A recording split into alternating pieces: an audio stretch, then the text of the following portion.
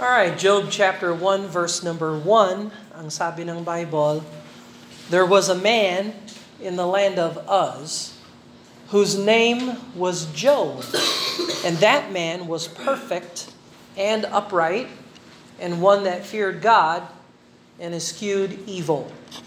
So we're going to go through the book of Job, and uh, every time we study the Bible, we ought to be asking who wrote it, who did he write it to, and ano yung um, context ng aklat. Uh, so, sa dalawang Wednesdays, na, uh, unang Wednesday na ito, tapos yung susunod na Wednesday, we'll, we're going to look at the context of the book of Job, including the overall outline, para meron tayong idea patungkol sa pangkahalatang larawan ng aklat ng Job and the significance of the book of Job uh, in its context, uh, the ca- canonical context, ibig sabihin, bakit ito nasa gitna ng Bible? This is in the middle of the English Bible here. And uh, um, what's the significance of the placement of Job in the middle of the scriptures here? So Job starts out the poetic section of the Bible. So alam natin na yung Bible natin ay mixture ng prose at saka poetry. So pag sinabing prose, P-R-O-S-E, tapos poetry. Yung prose, yan yung regular, normal way of communicating ng kwento or event or kasaysayan. Prose, regular speech. Poetry naman, creative medyo merong creativity yung poetry. Hindi siya regular. Special um, um, way of communicating something. In English, yung poetry nagra-rhyme siya. Uh, di ba? Uh, roses are red. Violets are blue. What, is that? What, what is, what's next? Chocolate is sweet, and so are you. Oh, yun. Oh, anyway, I just nagra-rhyme siya. Okay? Pero sa poetry ng Bible, hindi rhyme ng salita ang importante, pero yung rhyme ng isip. The rhyme of thought or reason is the point of Hebrew poetry. Uh, so, makikit matutuklasan natin dito sa Book of Job yung mga paral, parallelism, ibig sabihin yung mga magkakatugma na mga linya, at yung mga linya na salungat, uh, contrasting, par antithetical parallelism, and chiastic structure. Yung, yung tinuruan natin sa Book of Psalms, naalala ba ninyo yung chiasm, chiasm ng Book of Psalms? So yung mga linya na, halimbawa, ganun. So yung key, letter yan ng Greek.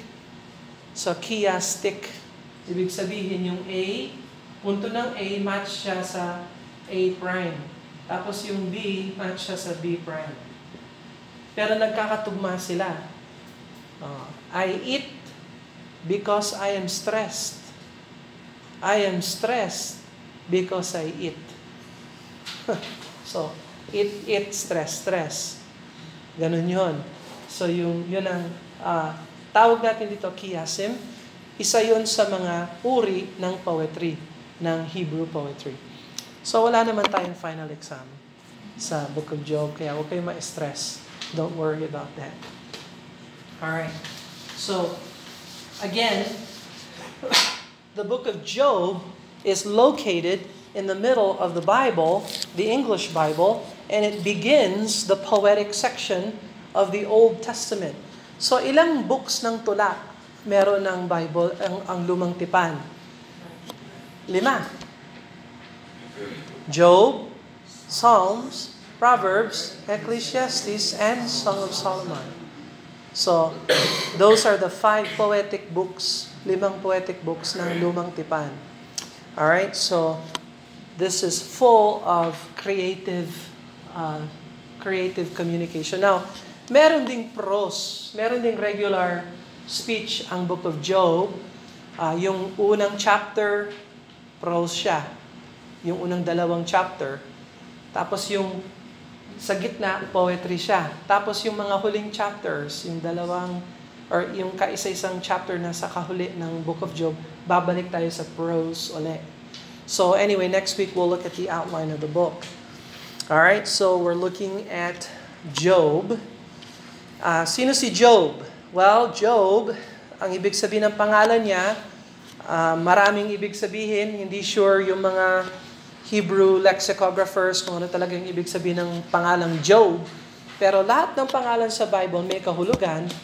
Ang pinakamalapit na idea natin sa name of Job ay uh, persecuted uh, or hated or he that weeps speaks or cries out from a hollow place. That's the name of Job.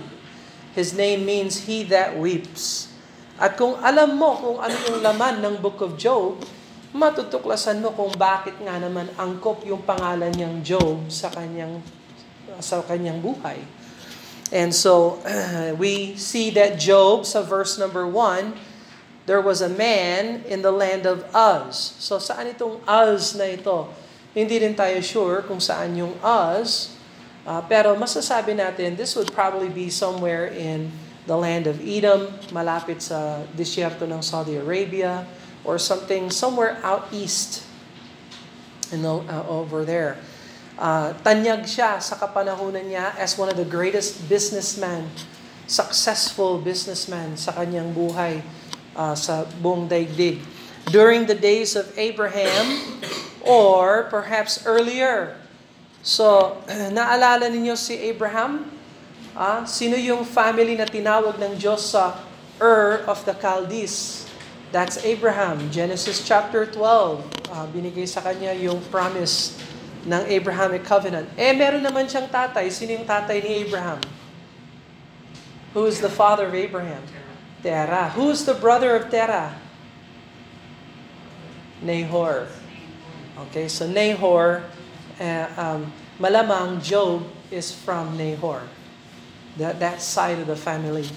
And Terah and Nahor both worshiped Jehovah God.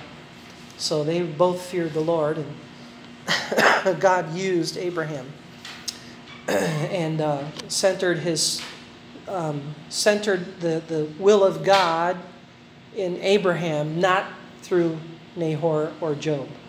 Uh, so anyway, kaya natin sinasabi yung book of Job ay sinulat bago sinulat ni Moses yung kanyang unang limang aklat So there we can say Job is the earliest book of the Bible.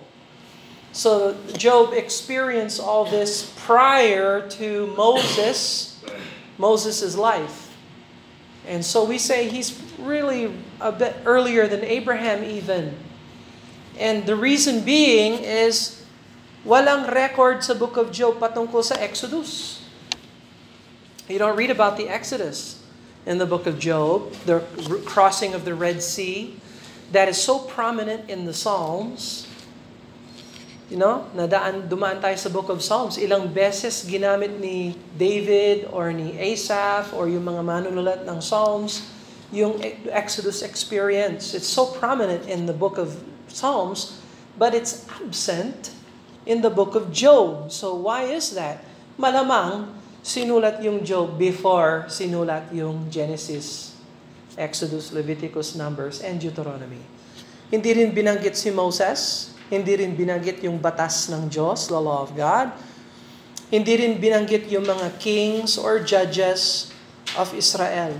So therefore, we can put the book of Job somewhere uh, either before Abraham or during the time of Abraham. Um, now, Merong mga binanggit na mga palasyo ng mga hari. There are places for kings mentioned. Look at Job chapter 3 verse 14. Job chapter 3 verse 14. With kings and counselors of the earth, which built desolate places for themselves. So, kings and counselors built desolate places for themselves. This would be like pyramids. Pharaohs and, and kings uh, would build ziggurats and pyramid structures for themselves. the name Pharaoh himself means big house. So uh, we could see that kings are already in the tradition of building houses. There are cities already in the book of Job. Therefore, we know that it's not just a guy, a nomadic tribe. This is a established man. Uh, Job chapter 15, verse 28. Job 15, 28. He that dwelleth in desolate cities and in houses which no man inhabiteth, which are ready to become heaps. So, dwelling in desolate cities. Well, so ibig sabihin, merong development na sa kasay sa lipunan. May mga lungsod, may mga syudad. Hindi sila katulad nila Abraham nung kapanahon ni Abraham na nomadic. Nagta, nag, um, nagta-travel yung clan nila, yung tribo nila, travel ng travel. Not, not Job. He is situated in the land of Uz, very successful, and uh, very prominent. Tapos binanggit naman ni Job yung worldwide flood ni Noah. Naalala ninyo yung flood ni Noah? Well, that's very early in the history of man. So look at Job 22, verse 16. This perhaps alludes to the uh, uh, uh, worldwide flood. Job 22, verse 16, which were cut which were cut down out of time, whose foundation was overflown with a flood. Therefore, uh, perhaps that would allude to the worldwide flood of Noah. So obviously, Job's lifespan is after the flood and right before Abraham, in there in that space of time where uh, men were organizing themselves into cities, and so uh, that's just certain things about Job that we can observe. Uh, number two, alam natin na si Job ay tunay na tao. He's a true man. He's a real, he's not fiction. So, ang problema, dahil ito ay tula, akala ng iba na siya ay fictional character. No, he's a real person just like uh, Ezekiel teaches us. Go to Ezekiel 14. Ezekiel 14 and verse number 14. Ezekiel 14, verse 14. Though these three men, Noah, Daniel, and Job, were in it, they should deliver but their own souls by their righteousness, saith the Lord God. So, na, totoo ba si Noah? Is he a historical figure or is he fictional? Historical. Totoo ba si Daniel? Is he fictional or historical? Okay, so is Job fictional or historical? Historical. All right, so look at verse 16.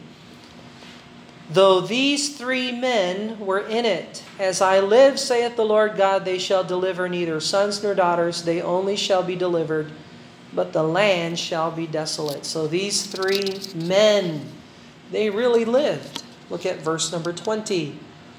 Inulit na naman ni Ezekiel, Though Noah, Daniel, and Job were in it, as I live, saith the Lord God, and so on and so forth. So look at James chapter 5. James chapter 5 and verse 11. James chapter 5, verse 11. Behold, we count them happy which endure. Ye have heard of the patience of Job, and have seen the end of the Lord, that the Lord is very pitiful and of tender mercy. So sabi ni Pastor James, naalala ba ninyo si Job na sa katapusan nakita niya ang kabutihan ng Diyos at pagmamahal ng Diyos sa kanya at siya ay blines ng Panginoon. And so James remembers Job. So um, we know he was a real person. All right, number three. Here are some things about Job na ma-observe natin sa chapter 1. Una sa lahat, he was a godly man. He was a godly man. Paano natin alam na siya ay godly? Sabi ng verse 1, There was a man in the land of Uz whose name was Job, and that man was perfect. Ibig sabihin ng perfect, mature. Spiritually mature. Ibig sabihin, natutunan niya na hindi maging batang isip. Isip bata. Okay? So, sa lipunan natin ngayon, paano mo alam na ang tao ay mature or perfect? Hindi siya nabubuhay sa kanyang emotion. Okay? If you are controlled by your emotion, you are not mature.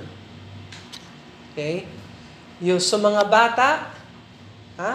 lalo na sa mga malilit na bata, sanay sila na mag-react sa kanilang damdamin.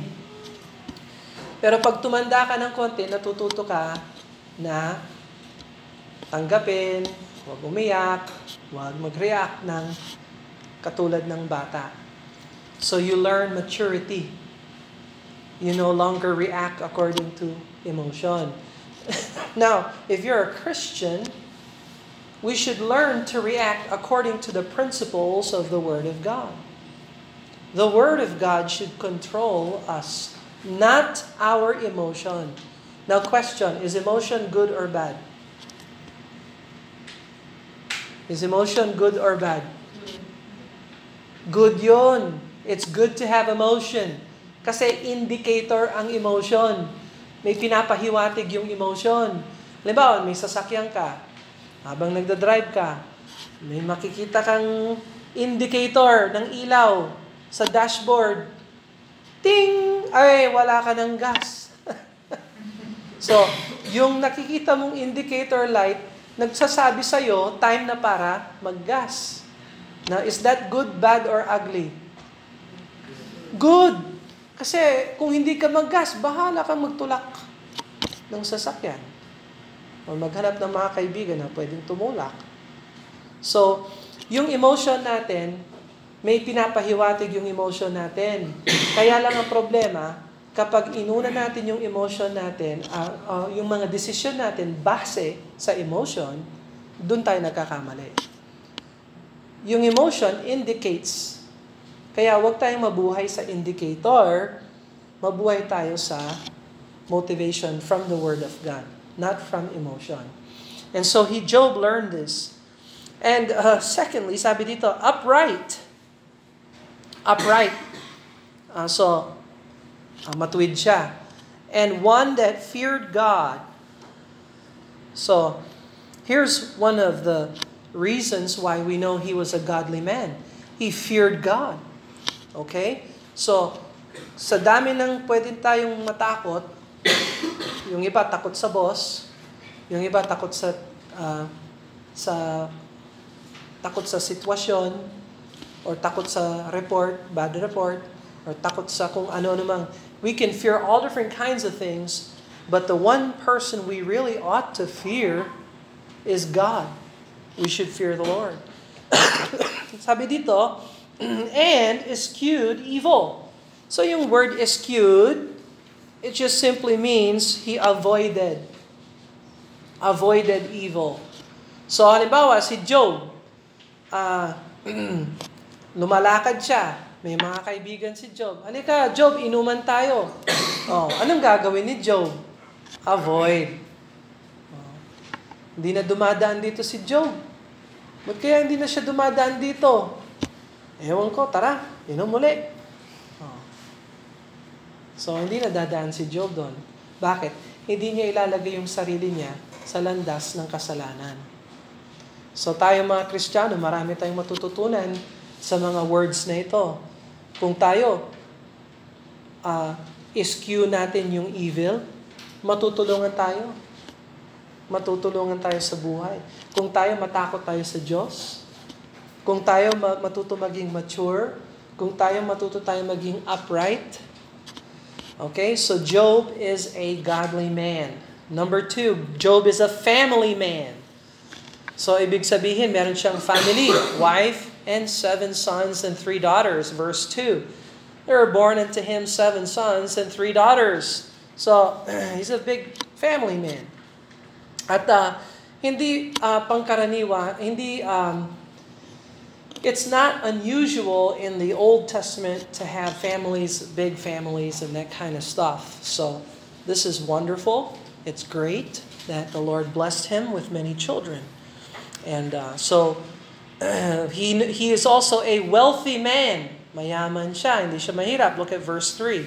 His substance also was 7,000 sheep and 3,000 camels and 500 yoke of oxen, 500 she-ashes. Very great household. So as that this man was the greatest of all the men of the East. So, sa lahat ng mga tao ng East, siya para siyang gobernador, kumbaga para siyang mayor. He's a very wealthy, powerful man. He deals with animals. Meron siyang mga animals. Meron din siyang mga servants, bukod sa mga anak. And so, uh, farmer maybe, perhaps, but a wealthy agricultural man. All right?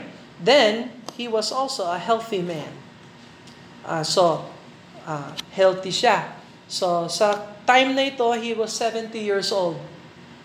So, 70 years old na si Job. Ayan yung mga anak niya, yun ang asawa niya, yun ang uh, pangkabuhayan niya. And everything's going well for Job. So we see this is the outline of who is Job. Now, God allowed Satan to tempt Job in the following four areas of his life. So, pinayagan ng Diyos na subukan ni Satanas si Job dito sa apat na uh, bahagi ng kanyang buhay. Una, yung kanyang pera sa kanyang kayamanan. Look at chapter 1 verse 14. And there came a messenger unto Job and said, The oxen were plowing and the asses feeding beside them, and the Sabaeans fell upon them. Yung mga Sabaeans, yan yung mga parang pirates, mga pirata, mga barbarians na pagala-gala. Kin, pinatay daw, kinuha yung yung mga yung yung mga oxen, yung yung mga baka, yung mga asno, and fell upon them and took them away Yea, they have slain the servants with the edge of the sword. Pinatay rin yung mga alipin mo, Job. And I'm only escaped to tell thee. Ako lang na, nakatakas para mag-report sa iyo, Job. May mga mga sabiens na pumasok, pinatay nila yung mga alipin mo. Kinuha yung mga hayop mo. Verse 16, And while he was yet speaking, there came another and said, The fire of God is fallen from heaven and hath burned up the sheep and the servants and consumed them, and I only am escaped to tell thee. Job, may apoy na bumaba galing sa langit na sunog yung mga hayop at yung mga alipin mo. Ako lang nakatakas. Siguro maamoy pa siya ng smoke. And, um, and so, nakikita natin dito, Satan destroyed his wealth, his money. No? So, Uh, verse 17, while he was yet speaking, there came also another and said, The Chaldeans made out of three bands fell upon the camels and have carried them away, yea, slain the servants with the edge of the sword. I am only escaped alone to tell thee. So pati mga Chaldeans, ito naman, mga uh, Babylonians naman sila. Iba na namang klaseng mga barbarians. Uh, ganun din yung ginawa nila. So Satan attacked him financially. So, ewan ko sa inyo, pero when you uh, when you suffer financially, napakalaking stress sa tao yan. Yung uh, financial problems. Alright? Well, hindi lang financially ang attack ni Satan. Pati rin yung kanyang family in-attack ni Satan. Look at verse number 18. While he was yet speaking, there came also another and said, Thy sons and thy daughters were eating and drinking wine in their eldest brother's house. And there, behold, there came a great wind from the wilderness and smote the four corners of the house, and it fell upon the young men, and they are dead. And I am only escaped alone to tell thee. Job, may malakas na hangin na galing sa ilang at na, nawasak yung bahay at natumba yung mga dingding sa iyong mga anak. Verse 19, and behold, there came a great wind. Okay, so you got that. Verse, uh, uh, so we see that uh, uh, Satan attacked his financially. Satan attacked him in his family. Satan attacked him in his flesh. Tingnan mo chapter 2 verse 7. Chapter 2 verse 7. So Satan went forth from the presence of the Lord and smote Job with sore boils from the sole of his foot unto the unto his crown. Magmula sa paa hanggang sa ulo, ah, binigyan si Job ng mga ah, boils. Ano yung boils sa Tagalog? Mga pigsa. No? So parang may infection siya na at yung mga boils na ito ay napakalaking boils from his foot hanggang sa kanyang ulo. So this is satanic attack on Job's health, his flesh. Tapos, in- inattack din siya sa kanyang mga kaibigan. So meron siyang tatlong kaibigan from chapter 2 to chapter 37. Job has three friends who came to visit him and to accuse him of hiding sin. And those three friends, they were there. They, they intentionally wanted to comfort Job. Kasi nga, magkakaibigan naman sila. Pero imbis na naging blessing sila, naging hadlang sila kay Job. Kasi, ang nasa isip ng tatlong kaibigan na ito, si Job ay may tinatagong kasalanan, kaya ka sinumpa ng Diyos. Job, magsisi ka na. Okay? So, yan ba ang katotohanan? Yan ba? May, tinago, may sinabi ba ang Diyos sa chapter 1 na tinago niya ang kasalanan, na nasa ilalim siya ng sumpa ng Diyos dahil sa kanyang kasalanan? Ano yung sinabi ng Bible patungkol kay Job? He is a perfect, upright, one that feared God, and eschewed evil. Okay, so sa character ni Job, wala tayong makikita sa kanya na tinago niya yung kasalanan, nasa ilalim siya ng sumpa ng Diyos. Pero hindi alam ng mga kaibigan yon. Kasi ang tao ay palaging humuhusga base sa nakikita. Hindi base sa katotohanan. And so, ginamit ni Satanas yung kanyang mga friends para talagang i-pressure siya. Anyway. so, number five, God blessed Job in all these areas of satanic attack. So, sa katapusan, let's go to chapter 42. When we get to chapter 42, we'll see that God blessed Job immensely. Having gone through satanic attack, God restored everything to Job. Verse 42 to uh, 42 verse 12, God restored his fortune, his his finances. 42 verse 12, I will not uh, 42 verse 12, sorry.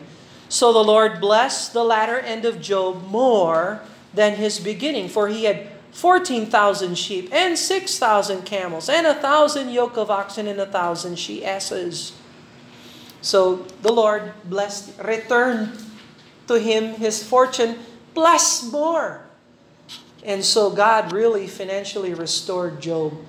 God also restored his family. So tingnan mo, verse number 13. Job 42, verse 13. He had also seven sons and three daughters. So dinagdag ng Diyos. Yung mga seven sons and three daughters na kinuha kay Job, sinoli ng Diyos. Dinagdagan pa yung kanyang mga anak. So here, his wife, now let me ask a question. Did his wife, did God get rid of his wife? No. Did God bless his wife? Yes. Now, so natatandaan natin yung wife ni Job. So, maraming nagtuturo na pati rin yung wife ni Job ginamit ni Satanas. No, I don't believe that at all. I don't believe that Job's wife was in sin or that the devil used Job's wife. You have to understand, Job was broken and so was his wife. Furthermore, did God rebuke his wife? So yes, may sinabi yung wife ni Job na hindi tama. Pero question, rinebuke ba siya ng Diyos? Anong sinabi ng Diyos patungkol sa kanyang wife? Wala. Nothing. God didn't say anything about Job's wife. In fact, God blessed them and gave them more sons and daughters. And so uh, we can say that um, Job's wife uh, is a victim, and the Lord uh, took care of her. And uh, so didn't, didn't even rebuke her the way he rebuked the friends of Job, which we'll see as we look into this book. So God gave him his fortune back, God gave him his family back, and God gave him his flesh, his health. Look at 42 verse 16. 42 verse 16. After this lived Job an 140 years. So twice. Twice. So 70 years old siya nung nangyari ito. Dinagdagan siya ng doble ng buhay niya. So Job lived quite long. He lived, uh, let's see here, if he was 70 years old, and the Lord added to him 140 years, how old would that be? 210? Yeah, so Job lived 210 years. So God really extended his life and blessed him tremendously. And then uh, God dealt with his friends. Uh, yung kanyang mga kaibigan. Look at chapter 42 verse 7. 42 verse 7 And it was so that after the Lord had spoken these words unto Job, the Lord said to Eliphaz the Temanite, My wrath is kindled against thee and against thy two friends, for ye have not spoken of me the thing that is right, as my servant Job hath. So God vindicates Job. Verse 8 Therefore take unto you now seven bullocks and seven rams, and go to my servant Job, and offer up for yourselves a burnt offering. and my servant Job shall pray for you, and for him will I accept, lest I deal with you after your folly, and that ye have not spoken to me the thing which is right, like my servant Job. So kayo, mag-alay kayo ng mga sacrifices. Kasi kung magpre-pray si Job, patatawarin ko kayo. Pero kung hindi mag-repent o mag-pray si Job, yayariin ko kayo dahil hindi kayo nagsalita ng tama. So God rebuked uh, Eliphaz and Bildad and Zophar, those three friends. And so we see, look at verse 9. So Eliphaz the Temite and Bildad the Shuhite and Zophar the Namathite went and did according as the Lord commanded them. And the Lord accepted Job. So pinatawad naman ni Job at tinanggap ni Jehovah God yung kanyang mga kaibigan. Pinatawad din ni, Lord yung tatlong kaibigan ni Job. So we see here, uh,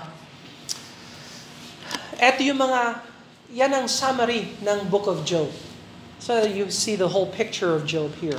Alright, so theme, ano ang tema ng aklat ng Job? What is the main theme of the book of Job? Well, it is this. God is sovereign over man's sufferings. God is sovereign over man's sufferings. Now, may mga aklat sa Bible na pinapakita sa atin kung ano ang mga nangyayari sa kalangitan. Katulad ni Daniel. Nung nag-pray si Daniel, hindi sinagot na, hindi na sinag, sinagabal ni Satanas si Michael ng tatlong araw bago ma, ma, bago dumating yung sagot na pinapanalangin ni Daniel. So, the the Bible at times shows us the things that are going on in heaven that we have no idea about. We don't have a clue. We think that we just live our life and you know, we pray and ask the Lord to help and that kind of stuff, but we have no idea that there's a spiritual warfare.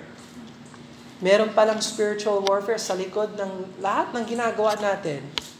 Kaya sabi ni Paul, remember what Paul said, we wrestle not against flesh and blood, but against principalities and powers. Ibig sabihin, meron palang rangko ng mga spiritual warfare sa kabila ng mga pagsubok natin bilang tao. So, Meron ka bang kilala sa tao sa gabal sa buhay mo?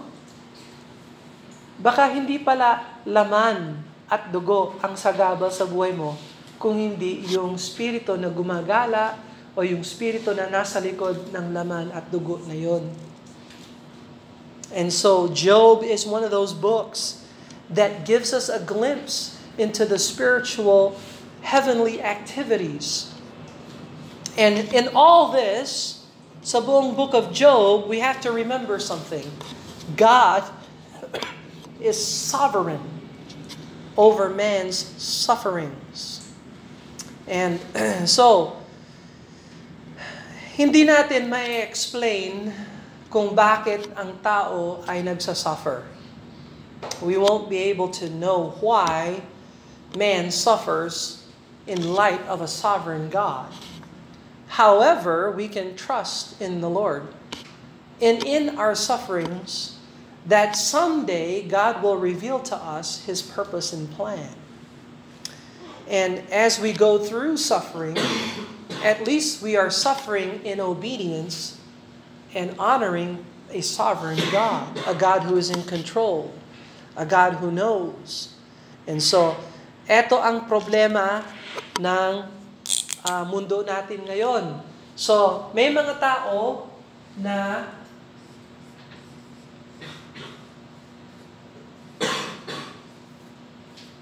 ang tawag doon ay theodicy. Theodicy. Theo, meaning God.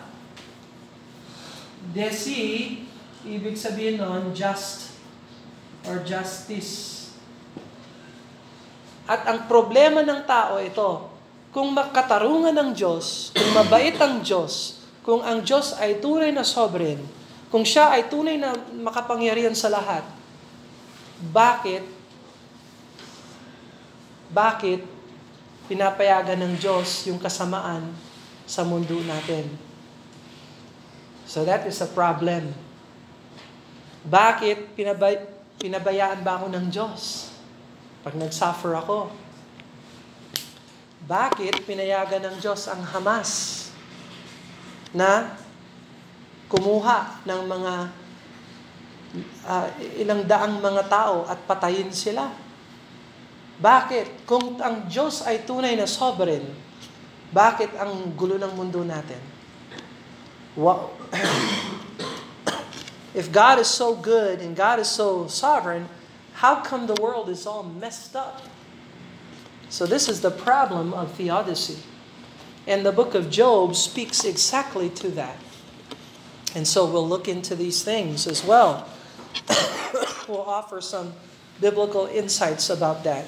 So, uh, Job, uh, tandaan ninyo habang binabasa natin yung book of Job, suffering is always caused, ang, ang, ang isip ng tao, suffering, suffering comes directly because of sin.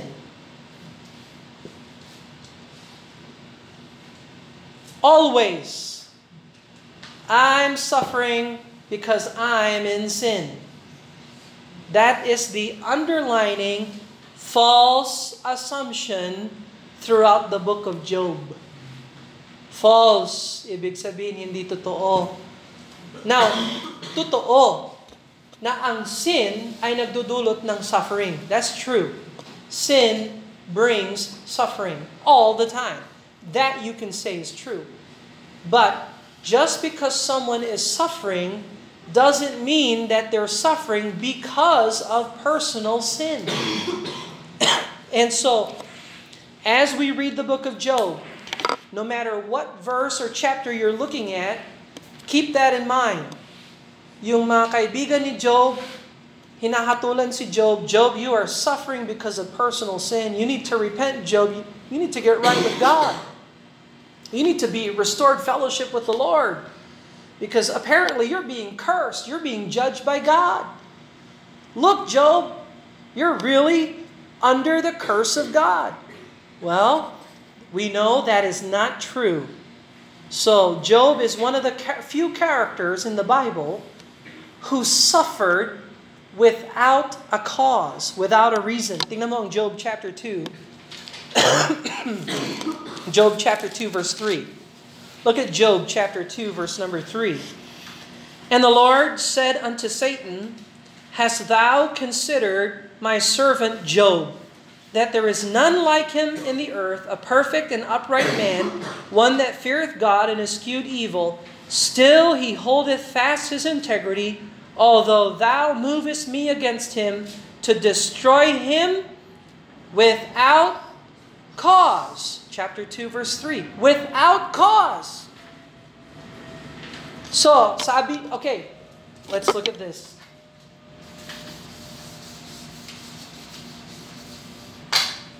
So, sa book of Job, ilan yung mga characters natin? God,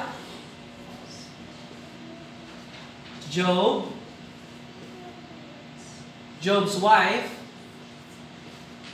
Mrs. Job, si Eliphaz, Zophar, Bildad, Elihu. At saka si Satan. Satan.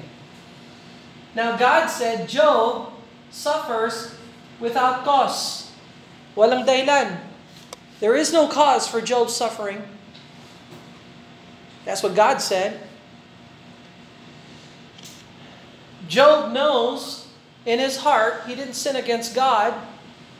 So Job knows I'm suffering without a cause. Does Job's wife know that? Hindi.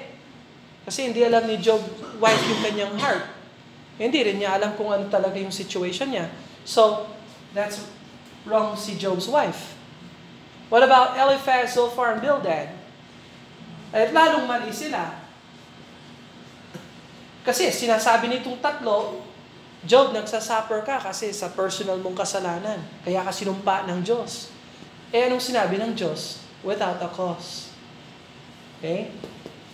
Elihu, wala siyang sinabi. Pero hindi rin siya pasa. Kasi, wala naman siyang sinabi na mali. Eh, eh, Elihu is a neutral. Okay? Hindi tama, hindi mali. Neutral siya. Eh si Satan, mali rin si Satan. Kasi sinabi ni Satan, kaya lang siya naglilingkod sa'yo, blines mo siya, ang galing mo lahat ng yan. Susumpahin ka ni Job, hindi, ka na siya, hindi na siya magiging uh, faithful sa'yo. Ay napatunayan ng Diyos mali si Satan. At palaging mali yan. Palaging sinungaling si Satan. Mamamatay tao yan. So, he is the father of lies. So, we know. So, throughout the whole book, Job suffers without a cause. Now, there are two other Bible characters who suffered without a cause. David suffered without a cause. Look at Psalm 69, verse 4. Psalm 69, verse 4. Psalm 69, verse 4. They uh, that hate me without a cause are more than the hairs of mine head that would destroy me, being mine enemies wrongfully are mighty, then I restored that which I took not away. So David experienced being hated by people without a cause, without a just reason or a cause. Job experienced that. David experienced that. And there's one more. Who else suffered without a cause? Jesus, Christ. Look at John chapter 15, verse 25. John chapter 15, verse 25. But this, this cometh to pass that the word might be fulfilled that was written in, the, in their law. They hated me without a cause. So inapply ni Jesus Christ yung scripture ni David sa kanya. na people hated Jesus without a cause. Now let me ask you a question. Meron bang dahilan kung bakit ipinako si Jesus Christ sa krus? Meron bang uh, matuwid na dahilan kung bakit dapat siyang ipako sa krus. No. There's no reason why Jesus had to die on the cross legally, morally. There's no reason for it. He died without a cause. People hated him without a cause. He himself was not in sin. He did not do wrong, and yet he was crucified. And so, Job David and Jesus experienced suffering without a cause. So, tandaan natin. So, when you read the book of Job, you can read about any verse and you can pick up from any chapter, any verse, as long as you know this, this basic uh, thought, you can see, oh, okay. Eliphaz, Bildad, Zophar, what they said, yung mga sinabi nila, is true, kaya lang ang problem, yung paglagay nila ng katotohanan kay Job ay mali. Where they're wrong is in their application of their truthful statements to the situation of Job. So in essence, yung mga kaibigan ni Job, tama yung mga sinabi nila, kaya lang mali sa pag-apply. Oh. Alam mo, Job, kaya tayo nagkaka, nagkakaroon ng suffering dahil sa kasalanan natin, Job. Now, is that true? Do we suffer because of sin? Yes. Now, is Job suffering because of his sin? No. So, see, the truth is true, but the application of the truth in Job's situation is wrong. So, this is a warning to us.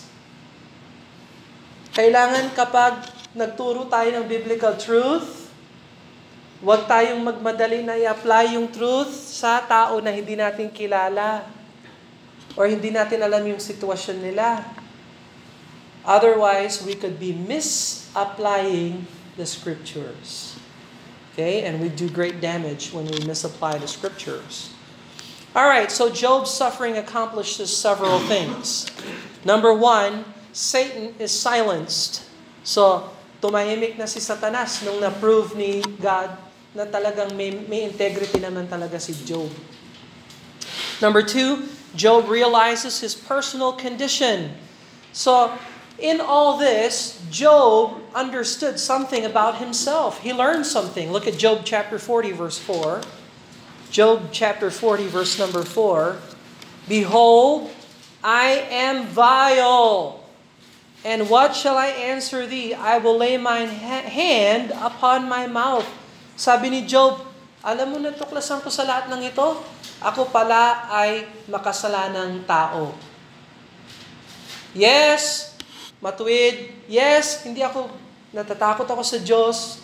Yes, sa mata ng tao matuwid ako. Pero sa puso ko, natuklasan ko, ako ay isang makasalanang tao. Now, bakit napakahalaga nun? Lalo na, ito yung unang aklat ng Bible. This will be the earliest book of the Bible. So why is Job discovering his sinfulness, his vileness in his heart, why is that significant? Being the earliest book of the Bible.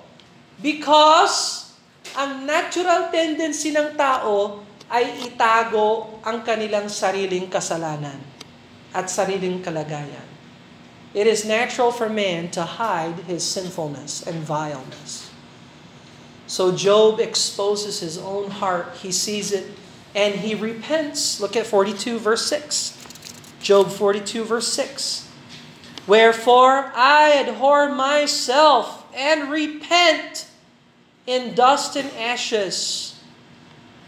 Ah, makasalanan ako, kaya ako nagsisi ako sa sarili ko, sabi ni Job. Natatandaan niyo nito, ang tao, lalo na pag hindi kilala ang Diyos, akala nila okay sila. Okay ako, hindi naman ako mamamatay tao. Hindi naman ako gumagawa ng masama. Okay lang ako. No, regular na tao lang ako. Paminsan nagkakamali, paminsan gumagawa ng magaling. Oh, I'm just a normal person. Pero hindi nila uh, nakikita ang kabanalan ng Diyos at hindi nila nakikita ang kanilang sariling kasalanan. Kaya walang pagsisisi. So bakit napakahalaga ni, ng Book of Job? Kasi ito yung pinakamaagang book ng Bible at dun pa sa simula, tinuturuan na tayo ng Diyos na ang puso natin ay makasalanan. Our hearts are vile and we need to repent. And Job did that. All right? Job finally sees God and has a personal relationship with the Lord. He did before, but now he knows more about the Lord. 42 verse 5. I have heard of thee by the hearing of the ear, but now mine eye seeth thee. So, tingnan mo ah, pag ikaw dumadaan ka sa suffering, kapag ang reaction mo ay biblical at tama, mas lalo mong makikilala ang Diyos. You will learn more about the Lord in suffering if you suffer by faith. You will learn more about God. There's no other shortcut to learn more about the Lord, to learn more about how sinful man is. This is God's university. Job learned to pray. Chapter 42, verse 10. Chapter 42, verse 10. The Lord turned the captivity of Job when he prayed for his friends. You see? When he prayed. So Job learned how to pray. Suffering teaches us to depend upon God and we learn to pray. And it also demonstrates that God is sovereign over all things. Job 38, verse 4. Job 38, verse 4. Where wast thou when I laid the foundations of the earth? Declare thou if thou hast understanding. So sa 40, sa 38, ang Diyos na ang nag ang nakikipag-usap kay Job. At tinanong ng Diyos, Job, nasaan ka? Nung nilapag ko ang pundasyon ng mundong ito. So, ibig sabihin, Job, hindi ikaw ang may control. Ako ang may control. And so he learned about the sovereignty of God.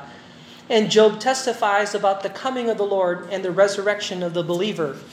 So Job 19 verse 25, Job 19 verse 25, inaasahan pala ni Job yung resurrection. Job 19, verse 25. Great passage of scripture in the Old Testament. For I know that my Redeemer liveth, and that he shall stand at the latter day upon the earth. Though after my skin worms destroy this body, yet in my flesh shall I see God. So merong pag-asa si Job. Sabi niya, alam ko, balang araw, mabuburol din ako, kakainin ako ng mga uod, nawawala din yung katawan ko sa mundong ito. Pero balang araw, babalik ng Diyos yung katawan ko at ha- makikita ko ang Diyos sa sa laman ko. I will see God in my flesh. Yan ang pag-asa ng resurrection. Yan ang pag-asa ng mga Kristiyano. We have the hope of resurrection. Hindi tayo naniniwala sa reincarnation. Okay, so uh, malamang merong sa kapanahonan ni Job na naniniwala sa reincarnation. And Job is saying, no, I don't have a hope of reincarnating, coming back into a different form. I have the hope of a resurrection. That yes, my body will suffer and die and become dirt. But God will bring me back and I will see him because my Redeemer liveth. Oh, he believed in the resurrection and the coming of the Lord. So here are some things to remember as we go through the book of Job. Number one, the devil cannot tempt nor afflict the believer without the permission of God Himself. So, comfort ito sa atin. Kung meron tayong dinadaanan na pagsubok, ay inaprubahan yan ng Diyos bago yan dumating sa atin. So, kapit lang tayo sa kamay na nagmamahal sa atin dahil hindi niya pinayagan yung mga pagsubok na hindi natin kaya. We know that from 1 Corinthians chapter 10 verse 13. Look at 1 Corinthians 10:13. I want you to know that when you go through suffering, everything that you are suffering is measured by the throne of God and God knows you can you have the capacity by his grace to bear the affliction or suffering. 1 Corinthians 10:13.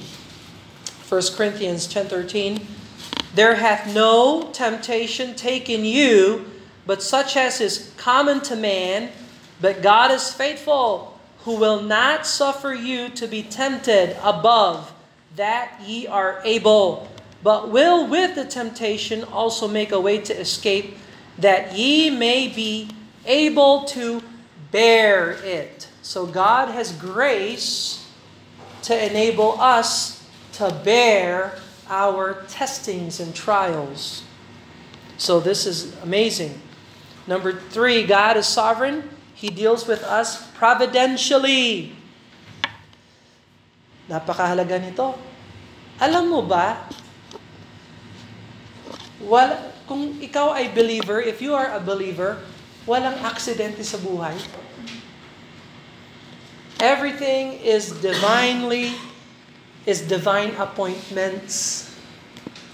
So alisin nyo sa vocabulary word yung accidents. This was an accident. Well, yes, humanly speaking, that could have been an accident. But biblically speaking, accidents are divine appointments. This is a divine appointment. God was in it and has a plan and a purpose. And the question is will you receive the Lord and will you receive His appointments? Will you look at your life as an accident or as an appointment from God? You see? So, we don't believe in nature, huh, nat- nature, natural event. This is just a natural occurrence. No, this is a divine appointment. And so, hamon ito sa atin. This is a challenge for us. Not to think in worldly term, but to think biblically about our situation. No? Uh, so, Brother Bill, do you believe in accidents? Well, humanly speaking, okay, that was an accident. Nobody meant to do this. This just happened. Uh, tragedy, sure. Uh, but biblically speaking, God allowed these things to happen to teach us something, to see, to see more of His glory if we react correctly to the sufferings and the testings and the trials. So these are divine appointments. Number four, Satan's power is above nature. So may, may kapangyarihan talaga si Satan patungkol sa nature. But he, his power is limited. He, he does not have power over God. Amen. Next, God's hand of protection can be seen against many powerful and mighty enemies who work to undo God's people. So, pansinin mo yung buhay ng Kristiyano ha. Marami tayong kaaway, pero hindi tayo nauubos. So, kahit na uh, kahit na mayayaman, kahit na makapangyarihan yung mga kaaway ng Kristiyano, hindi pwedeng matiwalag o masira ang Kristiyano. Matagal na sana tayong pinatay ni Satanas, kung tutuusin. Kasi mamamatay tao siya eh. Pero tingnan mo, nandito pa tayo. You see? So, God, God's power to save changes the entire human condition. Bad people are made good by the power of God. So God can transform people. God can change people. Kaya, uh, wag kayong ano, matakot na mag-share ng gospel, mag-share ng word of God. Kasi ang kapangyarihan para palitan ng tao nasa Diyos. God can change people. God can transform people.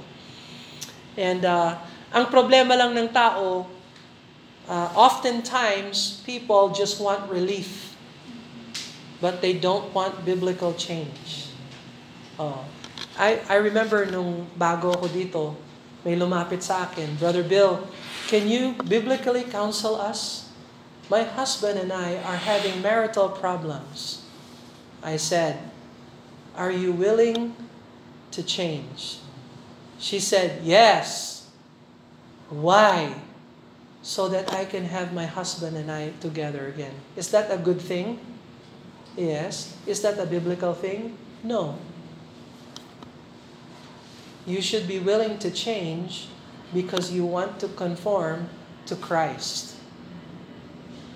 And if you conform to Christ, if your husband doesn't follow the Lord, you're still going to follow the Lord.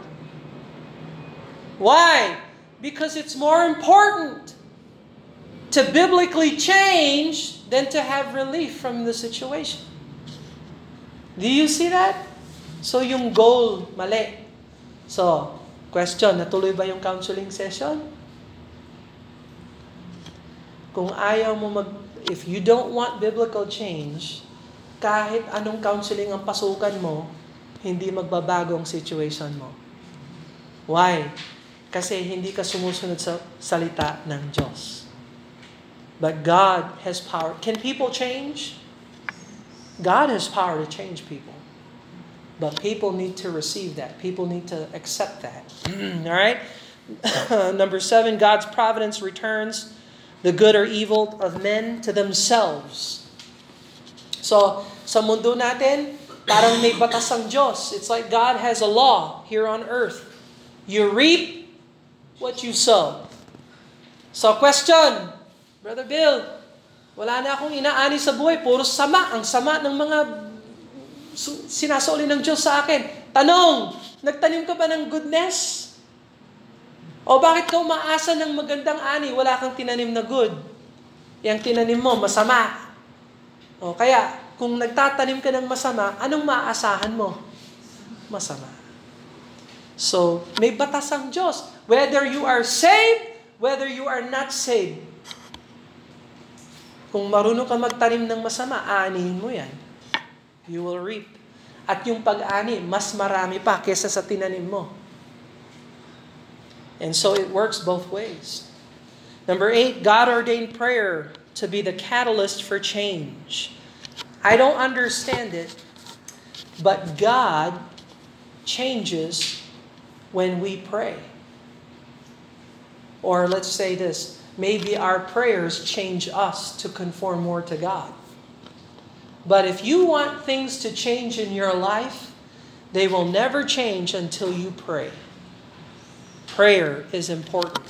Tingnan mo ang Psalm 57 verse 2. Psalm 57 verse 2. I will cry unto God most high, unto God that performeth all things for me. So you see, I will cry unto God. I pray because I know the Lord will will change all will do all things for me. God will answer prayers. God God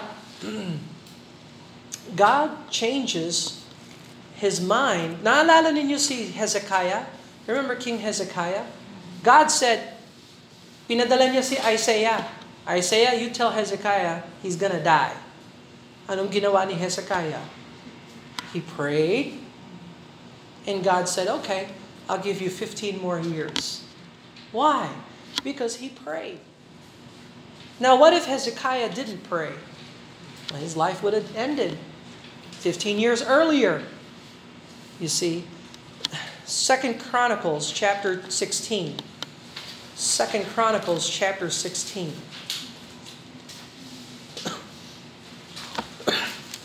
Second Chronicles 16 verse 9. Second Chronicles 16, verse 9.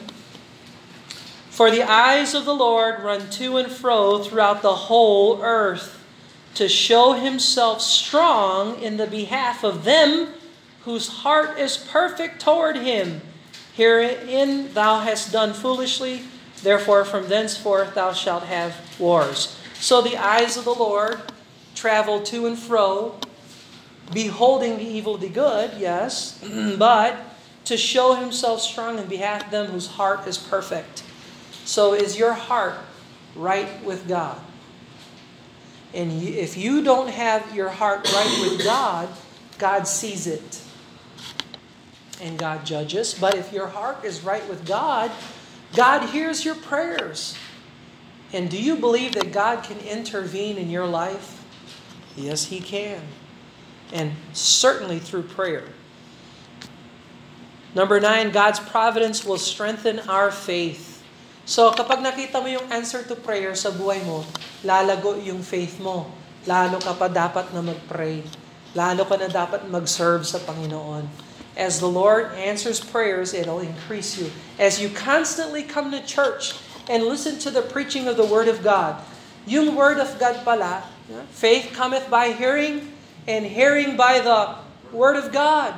Kaya yung mahalaga talaga yung church. You hear the word. Saan ka pupunta na may magtuturo ng ganito patungkol sa faith para lumago ka sa pananampalataya? Saan ka pupunta? Sa chess club? Sa LTO? Ha? Sa opisina? Sa bangko? Sa hukbo? Wala nang institusyon sa mundo na magtuturo ng salita ng Diyos para lumago ka sa pananampalataya. You need to be in church, to hear the Word of God, to have faith. It'll strengthen you in your faith. And last, those who deny or refuse or to acknowledge God, God will destroy. Last verse, Psalm 28. Psalm 28, verse 4 and 5. Psalm 28, verse 4 and 5. Give them according to their deeds, according to the wickedness of their endeavors. Give them after their work of their hands. Render to them their desert, because they regard not the works of the Lord, nor the operation of his hands. He shall destroy them and not build them up.